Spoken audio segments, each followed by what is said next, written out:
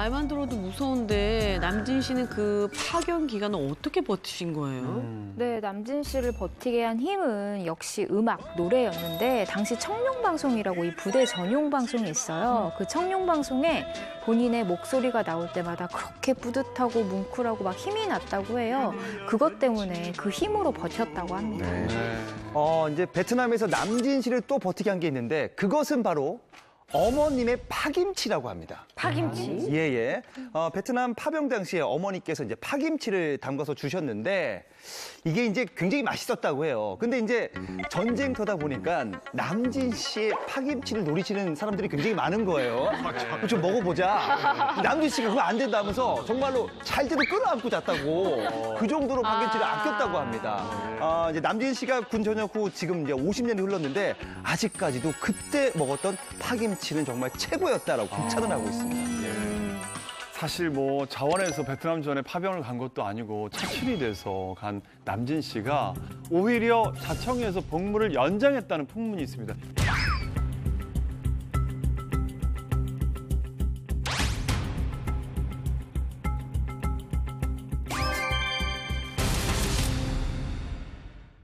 사실 뭐 자원에서 베트남 전에 파병을 간 것도 아니고 차출이 돼서 간 남진 씨가 오히려 자청에서 복무를 연장했다는 풍문이 있습니다.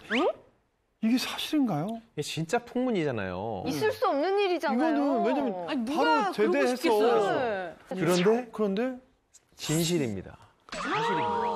예, 저는 예, 원래 이 SOP가 우리 사병 1년 이상 못 있어요. 네. 예, 귀국을 해야 되는데 저는 더 부탁을 해가지고 1년 더 있었습니다. 그때 이제 오- 귀국하면 1년이 남았거든요. 네. 그때 36개월 아닙니까? 네, 예, 생활. 그렇죠. 1년 만 네. 36개월. 네. 근데 이제 1년 나오면은 연예인 생활도 할수 없고 군대 복무가 1년 남았잖아요. 네. 그럼 여기서 빌빌빌 그냥 이렇게 있으니 네. 잘안 보이는 데서 또 월남 정도 좀 들고 그랬으니까 네. 예, 아주 다 채우고 나와버리자. 와. 그래서 그때 여단장님한테 부탁을 했어요. 군대를 연장하겠다고 해도 말이 야, 안 되는데 그 전쟁터에서 전쟁터에서 연장하겠다. 1년을 더 그러니까요. 근데 이 기간이 대한민국 가요계를 바꾼 기간이에요. 왜냐면은 예. 남진 씨가 이렇게 해서 스타가 된 다음에 입대를 했잖아요. 그 시기를 주름 잡았던 게 나훈아 씨예요. 네. 아. 두 분이 라이벌로 많이 불리는데 남진 씨가 데뷔가 더 빨라요. 활동을 하다가 나훈아 씨 데뷔를 했으니까 남진 씨가 더 위, 위였죠.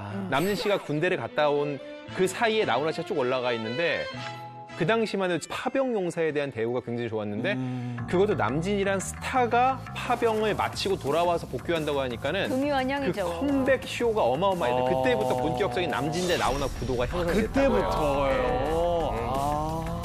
남진 나훈아 이렇게 라이벌 구도가 생기고 사람들이 이 신곡 발표라던가 무대에 대해서 굉장히 궁금증을 나타내더래요. 부담이 되잖아요. 엄청. 그런데 걱정과는 달리 1971년 6월에 전역한 뒤에 2개월 후 어, 노래 마음이 약해서를 발표를 했는데 이 노래가 그 M 채널에서 선정한 올해 가수상으로 꼽히게 굉장히 도움을 많이 줬고 또 골든 디스크를 수상하는 영예까지 안게 됐습니다. 음.